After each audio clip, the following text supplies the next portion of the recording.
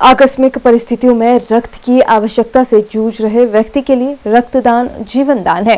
ये विचार आज शहरी विकास मंत्री सुरेश भारद्वाज ने रिज मैदान में Raja women right production foundation द्वारा आयोजित रक्तदान शिविर का शुभारंभ करने के उपरांत कही।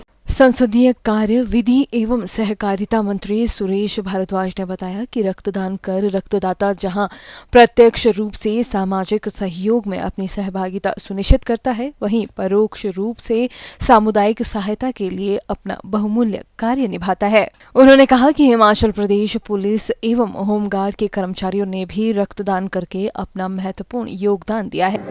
आज सिविल डिफेंस के लोग हैं इन लोगों ने जो है वो इस रक्तदान शिविर का आयोजन किया है। रक्तदान जो है वो सबसे बड़ा दान होता है क्योंकि किसी व्यक्ति की जान बचाना दुनिया में सबसे बड़ा जो है वो कार्य रहता है। शिमला में ऐसे बहुत सारे लोग हैं।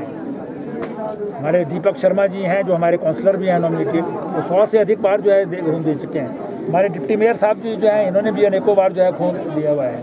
तो ऐसे ही बहुत सारे लोग जो हैं शिमला में आपको मिलेंगे जो अनेकों बार जो है वो ब्लड देते हैं और कई लोग जो हैं हर तीन महीने के बाद जो है रेगुलरली देते हैं। Bureau report city channel, Shimla.